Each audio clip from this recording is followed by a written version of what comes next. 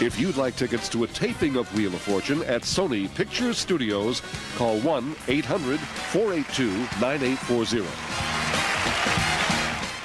New York 55 brings you 30 great movies every week.